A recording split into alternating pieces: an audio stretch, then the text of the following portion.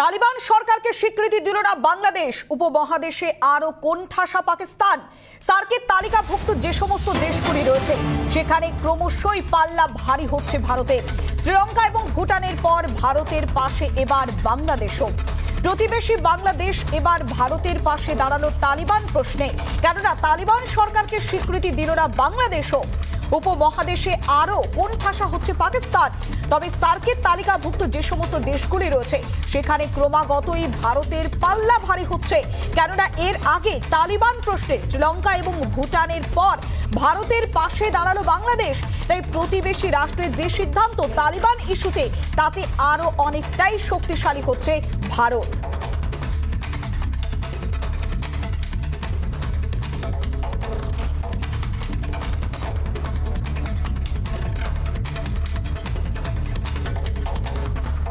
আদর্শিক কিছু জায়গা আছে। গান এই প্রসেসে যারা সহযোগিতা করছেন বা মিডিয়েট করছেন, আমরা তাদের সাথে সার্বক্ষণিক যোগাযোগে আছি আরও বোঝার জন্য।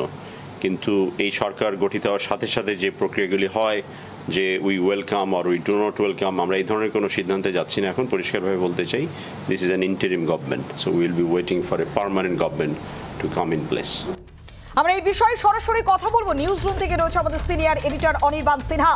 অনির্বাণ, বাংলাদেশের পররাষ্ট্রমন্ত্রীর বক্তব্য আমরা শুনলাম এবং বাংলাদেশের যে সিদ্ধান্ত, তাতে নিঃসন্দেহে ভারতের কূটনৈতিক জয়, তা তো বলার অপেক্ষা থাকছে না।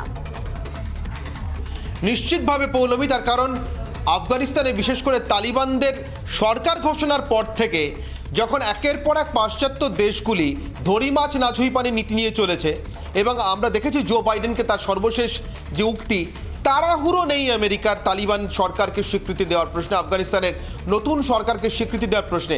কিন্তু একবারের জন্য বলছে না আমেরিকা যে তাদেরই ঘোষিত আন্তর্জাতিক জঙ্গি গোষ্ঠীর প্রধান একটি লোক, সে এই নতুন তালিবান সরকারের, আফগান সরকারের স্বরাষ্ট্রমন্ত্রী হিসেবে ঘোষিত হয়েছে তার নাম।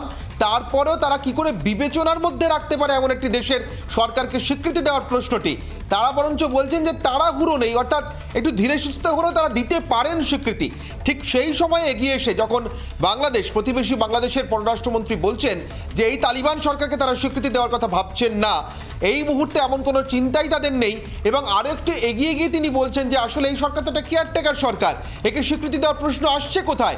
আগে একটা সম্পূর্ণ সাংবিধানিকভাবে নির্বাচিত সরকার আফগানিস্তানে আসুক, তৈরি হোক, তারপর তো স্বীকৃতি বা অস্বীকৃতির প্রশ্ন। এবং সেক্ষেত্রে আন্তর্জাতিক জনমত কিংবা আন্তর্জাতিক মতামতকেও তারা গুরুত্ব দেবেন, যেমনটা আরও পাঁচটি রাষ্ট্র দিয়ে থাকে তাদের বিদেশ নীতি বা পররাষ্ট্রনীতি তৈরির ক্ষেত্রে। সার্কভুক্ত দেশগুলোর মধ্যে, তুমি যে কথাটা বলছিলে, পৌলমী, নেপাল বা- ভুটান, বাংলাদেশ শ্রীলঙ্কা ভারত, এর সঙ্গে সঙ্গে পাকিস্তান। আমরা জানি বেশ কিছু আমন্ত্রিত রাষ্ট্রকেও ইতিমধ্যেই আমরা যোগ দিতে দেখেছি সার্কের সম্মেলনে, সর্বশেষ কয়েকটি সম্মেলনে। মালদ্বীপ রয়েছে। কিন্তু নিশ্চিতভাবে ভুটান এবং ভুটান এবং শ্রীলঙ্কার পর বাংলাদেশের ঠিক একইভাবে আফগানিস্তান প্রশ্নে ভারতের পাশে এসে দাঁড়ানো। আফগানিস্তানের এই নতুন সরকারকে স্বীকৃতি দেওয়ার প্রশ্নটি এই মুহূর্তে বিবেচনার মধ্যেই রাখছেন না বলে ঘোষণা করে দেওয়া।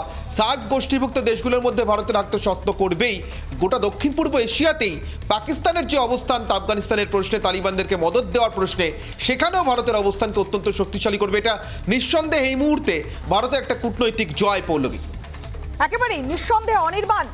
বাংলাদেশের যে সিদ্ধান্ত, কেননা তারাই তালিবান সরকারকে কোনোভাবেই সমর্থন করছে না, তার নিঃসন্দেহে বাংলাদেশের যে সিদ্ধান্ত, তা কিন্তু ভারতের কাছে কূটনৈতিক জয়, তা বলার অপেক্ষা থাকছে না। অনেক ধন্যবাদ। সরাসরি নিউজ রুম থেকে ছিলেন আমাদের সিনিয়র এডিটর অনির্বাণ সিনহা। এর আগেও আমরা দেখেছিলাম যে শ্রীলঙ্কা এবং ভুটান, এই দুটি দেশ ভারতের পাশে দাঁড়িয়েছিল।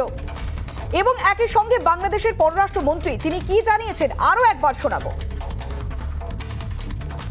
আদর্শিক কিছু জায়গা আছে। গান এই প্রসেসে যারা সহযোগিতা করছেন বা মিডিয়েট করছেন, আমরা তাদের সাথে সার্বক্ষণিক যোগাযোগে আছি আরও বোঝার জন্য। কিন্তু এই সরকার গঠিত হওয়ার সাথে সাথে যে প্রক্রিয়াগুলি হয়, যে we welcome or we do not welcome আমরা এই ধরনের কোনো সিদ্ধান্তে যাচ্ছি না। এখন পরিষ্কারভাবে বলতে চাই this is an interim government so will be waiting for a permanent government to come in place